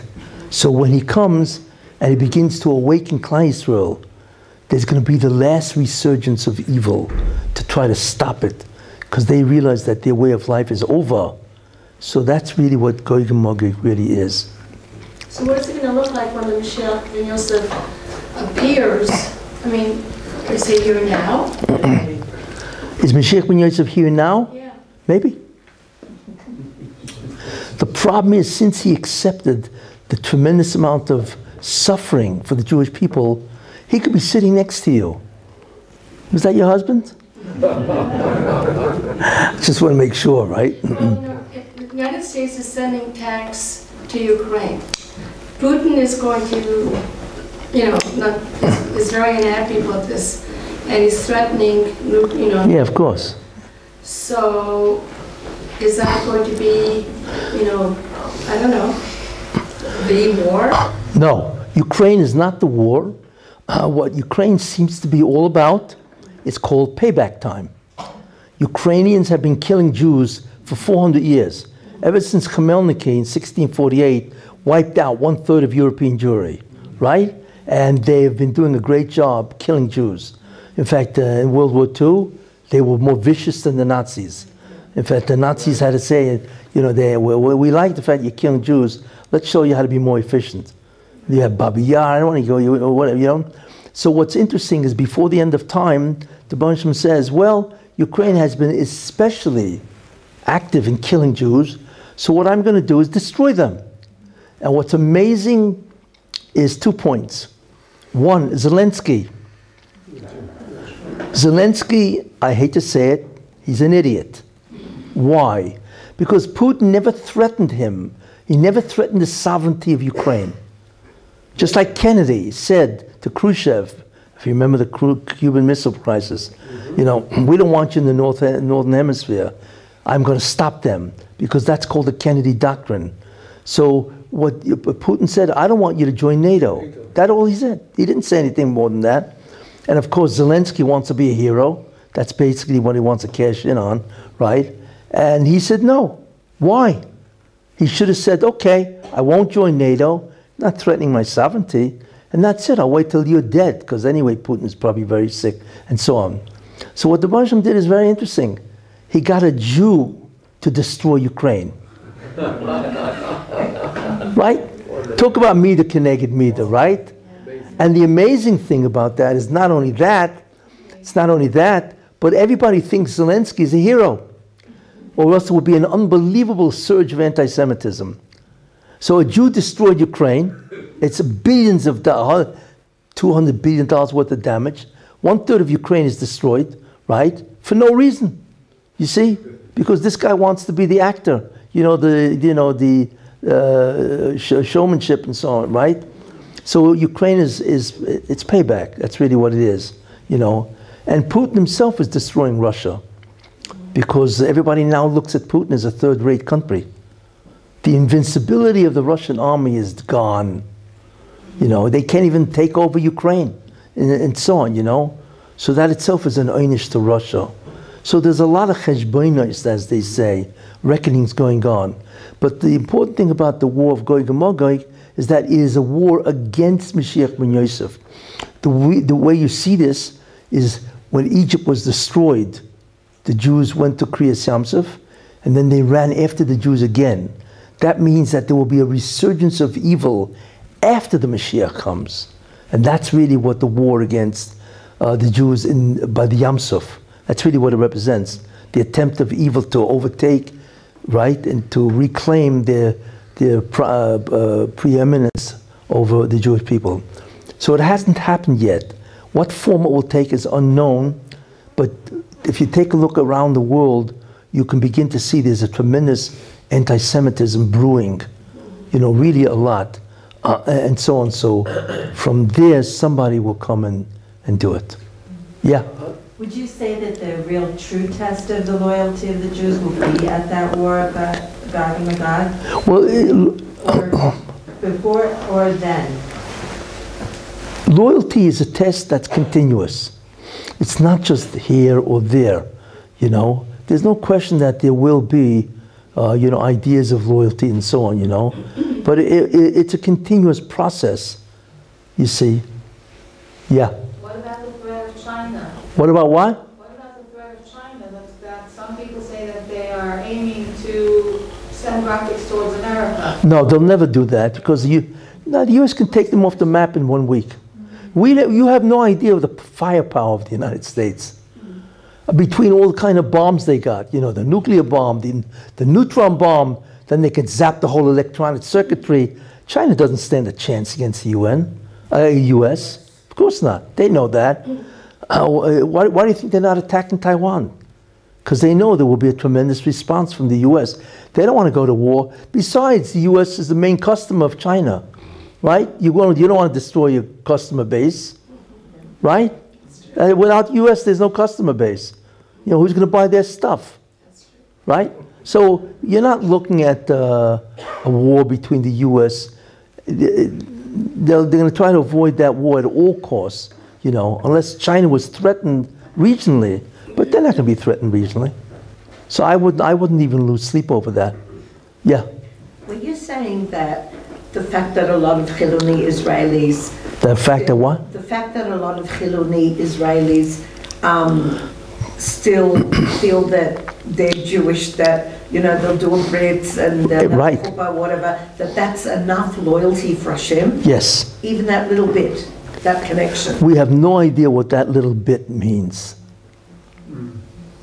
What to you may be a little bit, to the Shalom is an enormous amount of, of dedication for the Jews. Look, you have to remember, uh, the Jews are in a period of terrible darkness. There's not, a, you look around, we're, you know, Gedolim are dying every day. I, I hate to say it, a tremendous amount of, there's rebbes, there's, there's you know, there's Rosh Yeshivas, they're dying. It's incredible how much COVID took out. There are reasons for that, right? So if you think about it, it's black. I mean, how is a guy supposed to be from when there's nothing there? It's a vacuum. We live in a vacuum. So that itself adds to the onus. That's part of the reason why the Rebbeinu takes Gedolim. Because then a guy can say, what do you want from me? I had no Gedolim to, to watch and to look. There was no what's called hashpor. And that's a taina that mitigates the judgment. So what the Rebbeinu does is he adds all of it together. You see? So if a Jew says, you know, look, you know, uh, I, I believe in Israel, you know, I believe in Jewish history, I don't, I don't do any mitzvahs, yeah, that's a tremendous mitzvah. We don't realize, but and it's apparently enough to satisfy justice, and that's what the Rosham must do. Not that he must, he does what he wants, but he created the world through justice, and he wants the Jews to to deserve, you know, uh, the olam haba through justice, which they will get. That gives me a lot of hope. Yes. Thanks. Yeah. Um, With Mashiach ben Yosef, the, the inyan of the Hesped in Yerushalayim, it Oh. also to indicate that Mashiach ben Yosef will die. Right. So I'm curious what the Rav's, you know, perspective on, on the death of Mashiach ben Yosef is. Well, I'll tell you, okay. The problem is Yosef in Egypt sinned. And Yosef is the, the Shama of the Mashiach ben Yosef. That's who he was, really, so on, right? Without getting into it. and there was a Xer that he has to die because he didn't completely uh, vanquish the yetzer hara for, for Tifa's wife. I don't want to get into why. Anyway, it was decreed, you know. So that would have been terrible for Klal Yisrael. Why? Because if the Mashiach ben Yosef does die, right, then it means that Klal will also will come to a tremendous destruction. Anyway, the, the Vilna Gaon, uh, one of them, uh, says the following. The Torah is meramez that he will not die. Because it says, Od Yosef Chai. Yaakov Avinu said, Od Yosef Chai. I thought he was dead, but he still lives. That means b'remez, that he won't die. So how does the Rebbeinu take charge? Or, uh, you know, he brings back the neshama of Mashiach ben Yosef, right, in every generation, and he subjects him to a tremendous suffering. So if you added it all up, it would kill him, you see? But since it's spread over, right, he doesn't die, and he will survive to do his job, you see? So he doesn't die. Because in the Zohar, there's two expressions that he does and one expression that he won't. So therefore Mashiach ben Yosef is an ongoing, He is the, right. It's an ongoing suffering, right, and so on. In fact, the, the Ari says, when we pray in Shmon Esrei, es Tzemach David. Who is the Tzemach? The offshoot of David, Mashiach ben Yosef. We are praying every day for Mashiach ben Yosef not to die. You see. And the remez, like I said, is Oid Yosef ben Yichai. It's interesting remez, you know. Yeah. How do you explain the rising threat from within Israel by the Arabs here, both in the south and the north, really to a very significant threat on the state of Israel from within? Yes. From. How do you explain Right, Israeli Arabs. Right, yeah. the idea to that, it's interesting. Yishmael, which is the origin of all these, uh, did tshuva in the end. Because he let Yitzchak go first. Uh, when Avram Avinu died, he let Yitzchak. So the Chazal learn that Yishmael did tshuva. In fact, that's why you have Tanoim who are named Rabbi Yishmael. How could you name your son after a, a rasha? So obviously Yishmael did tshuva, the famous Rabbi Yishmael in Kohen right? Anyway, but uh, so uh, so Yishmael does tshuva in the end also, and that's why uh, Trump was able. So Edom, Esav, Trump, together with Yishmael, both of them do tshuva. But just like there's a Tov Sheba and a Rash Sheba there's a Tov Sheba Yishmael and a Sheba Yishmael. You see, so the evil of Yishmael, because he was a rasha, even from a great deal of his life and so on, right? So therefore they, they battle. So what you're really looking at is a contest among the Arabs themselves. because there are Arabs that are very disturbed. Uh, there are, uh, you know, uh, uh, what is happening and so on. So unfortunately, right now, just like just like the progressives are on, mm-hmm. on, on head, the same thing with the PLO and so on, they now dominate that. But I believe that ultimately speaking, Saudi Arabia will join. Oh yeah, yeah. It, it's because it's to make peace because it's to their benefit. You see, not only because of Iran, because Israel is doing great, you know, economically and uh, technologically and all that. So why shouldn't they join with Israel and so on? You know, and they want to become, they want to enter the 21st century or 21st century and so on. So I believe once they join, you know, that's the spearhead of Ishmael, is Saudi Arabia. They're the real Muslim and so on, you know. Right. So I believe once Trump gets back in, he's going to proceed with the Abraham Accords. You know, he's going to do that. In fact, it's may even possible, I think Bibi is dreaming that he wants to be the guy to bring Saudi Arabia. Yeah, like, of course. You know what a prize that would be? Because it's not Saudi Arabia. The whole Arab world would change. Because the real, the real Muslims are Saudi Arabia. They have Mecca. They're the, the caretakers of Islam. Right, yeah. So I believe he's really thinking about that. You know, you know, you just have to get rid of these guys like Sullivan and, and uh, what's his name? Uh, uh, Blinken. And Blinken and all these. By the way, Sullivan and Blinken are Jewish. I don't know if you know that. Most people don't realize that. Yeah. Sullivan is Jewish. Interesting last name. And Blinken is Jewish. Both Yidden, you know. And, and so on. And, and Biden, you know. Yeah. Yeah, I was gonna, I was gonna ask you. Yes. um, uh, I'd like to challenge you on your uh, theory that uh, Trump has a shot of getting back. He's a what? That Trump has a chance of getting back. You want to challenge me? Yeah, yeah, I mean. Right, you know the, the door, the entrance, the exit of this shul is right over there. I'm jo- joking. Why, what's your challenge? My my challenge. Right now, I hear an opinion. What's the challenge? Yeah, the challenge is Yeah. that um, we know that um, from the Medrash that the last straw before uh, Hashem sent the Mabul was when they, um, was when they started handing out marriage documents. Right, right. Man and man. Right. And uh, the thing, with 2015, you know, the Supreme Court. uh, Right, yeah, I'd say that, right, And I think just like two, a month ago, they, they doubled down on it. right. And I'm asking myself, if they double down on it, how do they have, how is there any shot of Hashem giving them, giving this society any other chance to have any form or semblance of tshuva? Yeah. Look, first of all, you have to look at the, uh, what's called the practicality. The Bershom does not want to destroy America. He's not going to do that, you know, because there are hundreds of millions of America that are not gay. They're not that way.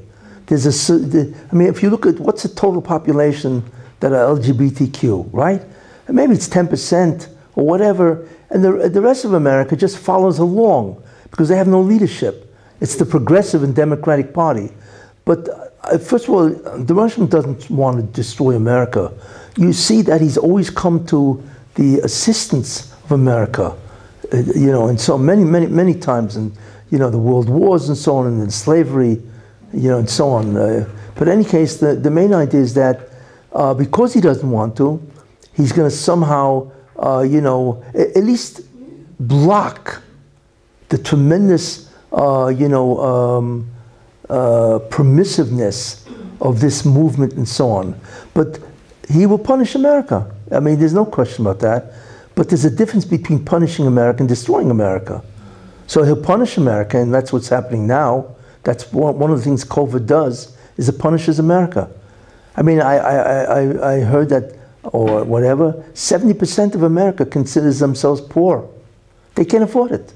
Between the gas prices, the grocery prices is insane, you know, and you're taking a look at all the other prices, the electric, everything's going up, you see. so that is Yisurin for that. But the main thing to remember is he doesn't want to destroy America. You see, he will punish America rather severely. I mean, the fact that people are getting killed in many of the cities, the crime rate, it's all part of the Yisurin. The inflation is part of the Yisurin. Grocery prices, all that is Yisurin, you know? So he can do it that way. without destroying America. At the same time, he's going to put, I believe, Trump will win the election. And don't even think that it can't happen, because the first election was purely miraculous. It's a Nesnigla. How in the world did Trump become president of the United States? It's impossible.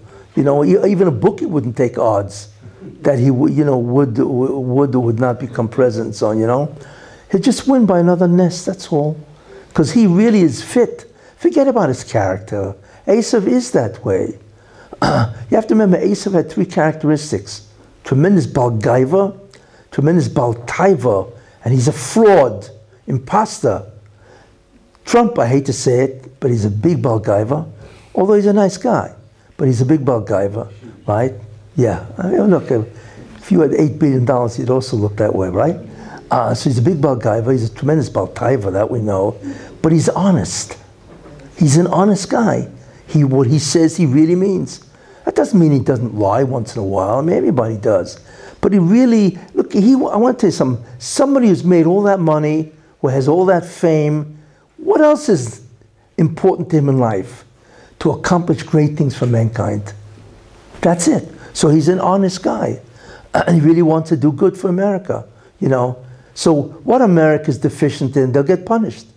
And what they excel in, they'll be rewarded. But the Russian wants America, Esav, to help the Jewish people. So therefore, they will not be destroyed. You see? So uh, he's, uh, I believe he will win. And uh, how it'll happen, So it's You know. because of Kadosh Baruch Hu's desire for um, Esau's role is sparing them Right. what, what should be complete destruction. what could have been right, exactly, yeah.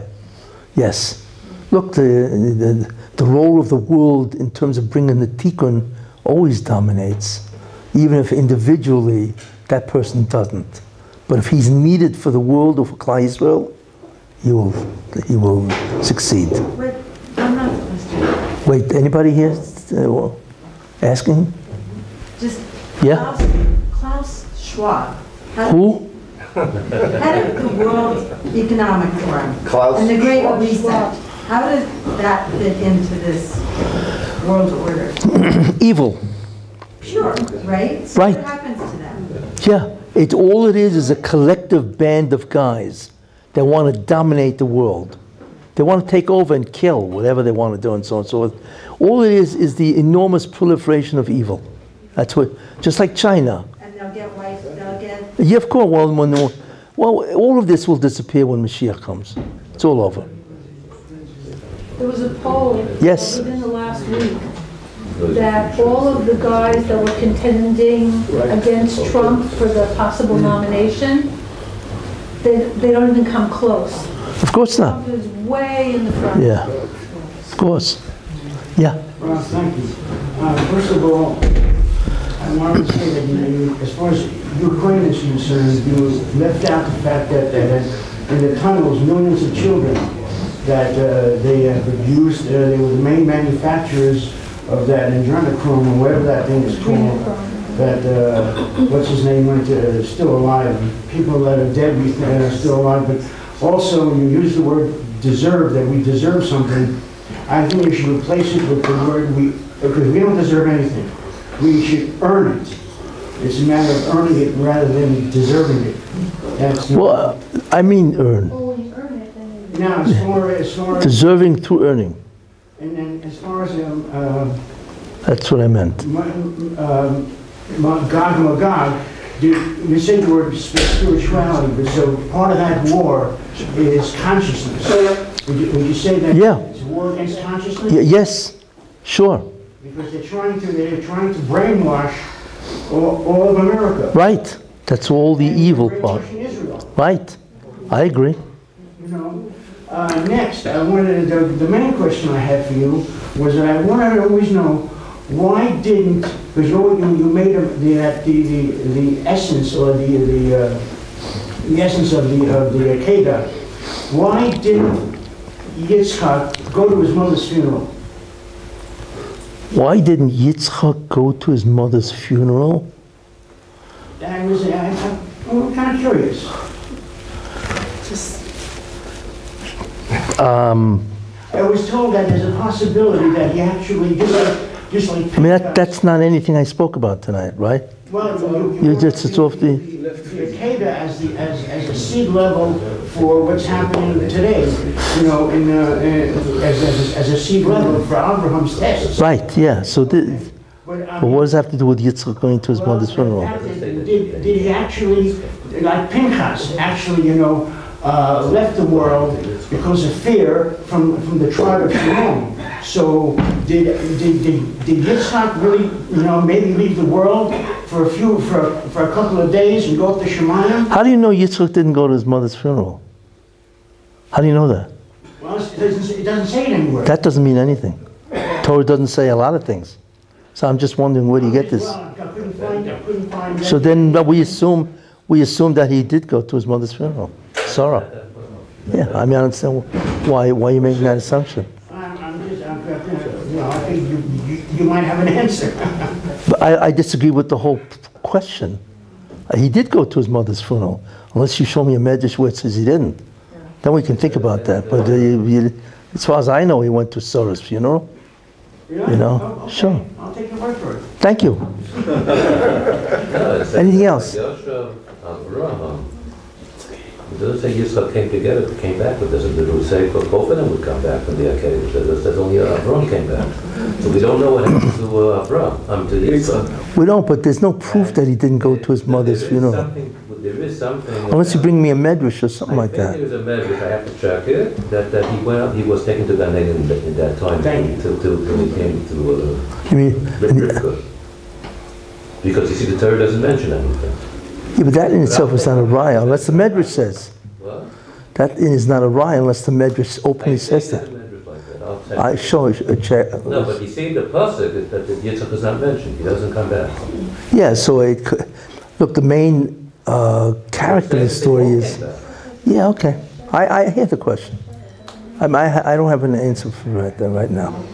I don't know. I have to see if the whole thing is true, you know? Yeah, I, I heard this when I was a teenager, so, but I don't, that's why It's a long time ago. Looking at your white beard, that's a long time ago. Okay, anyway. Um, yeah, Uh, There's a lot of countries that uh, deserve payback for what they did to us. So we think, will they all get what they're what's coming to them? everybody will get exactly what they, the only thing is the Rebbe Hashem takes his time, because maybe he wants the country to try to do tshuva, or he's, the Rebbe has an exact accounting of every single, not just country, individual. Nobody walks away, uh, you know, scot-free. Doesn't happen.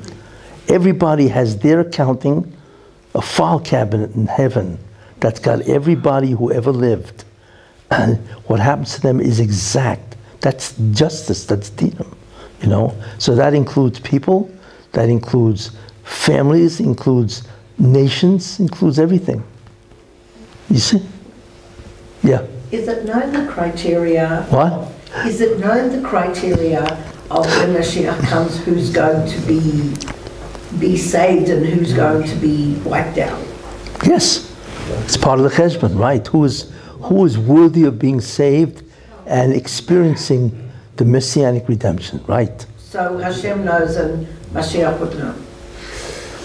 Well, Ma- Mashiach will know because he'll be he, he will see it.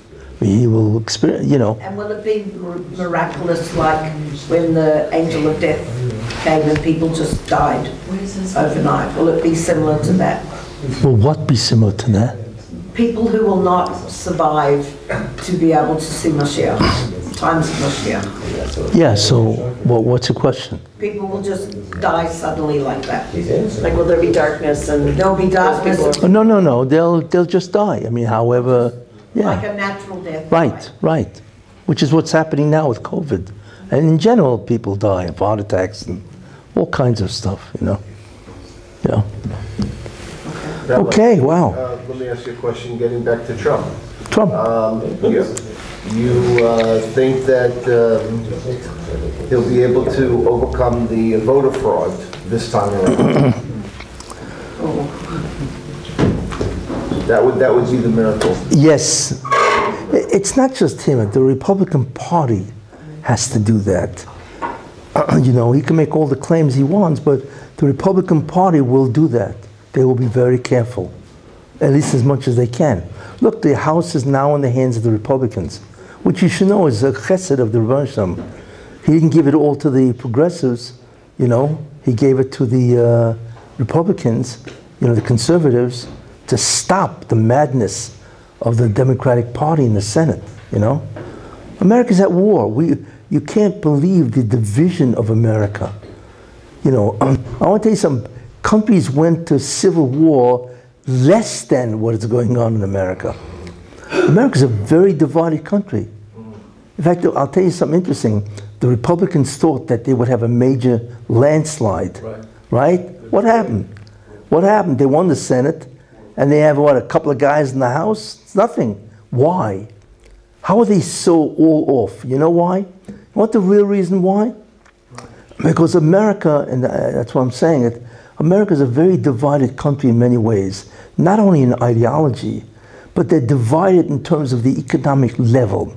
Half the country cannot make it and make a living. They on for them they must have handouts by the government. That's how they survive. They need handouts, right? That's called entitlements. The other half can live on their own. You see, Uh, so what they did is they underestimated the amount of people that need handouts. For those people, it's 50% of the country. For those people who need that, they don't care if the Democratic Party are crazy. They need the handouts. They're known as the handout party. You know what I'm saying? And in fact, that's what Biden was doing, giving money to guys because of COVID. So they couldn't care less if the Democratic Party is uh, whatever, is doing bad stuff and inflation. They need the handout more than the inflation. They don't care. You see? The other half says, well, this is ridiculous. They, it's interesting that they failed to take that in account when they were trying to predict that the Republicans would win. That's why they didn't. They won in the House. They're lucky. They were just able to because America has, is tremendously divided in terms of the economic situation of the different Americans and also the ideology. You see? And therefore, America really, in a certain sense, is at the cusp of civil war. But I don't think it won't be military, but it clearly could be ideological. You know? You see a Trump DeSantis ticket as a possibility? I, you know, I, I, thought about that, but I don't know if, see, problem DeSantis, he's a very independent guy, and the VP is basically a nobody. I mean, unless, unless the president offers him the chance to do things. Uh, so I don't know. I, I tell you, whatever DeSantis does, DeSantis, he's going to weigh his chances of becoming the next president. He's got that in mind. The question if he understands that now is not the time, but he clearly will be the Republican uh, nomination after Trump, whatever that is, right? So whatever he does, that's the major consideration. You see? So if he feels being governor of Florida is a better chance, because then he's independent, he can do whatever he wants, he'll remain. If he feels being the VP, right? And he'll also be doing a lot of stuff. Trump would use him just like he used Pence, right? Then he'll do that. So it all depends what DeSantis sees as the better stepping stone to becoming president. You know, and that that's what these guys are going to decide on. Saying, but it would be a very interesting ticket. It certainly would be, you know.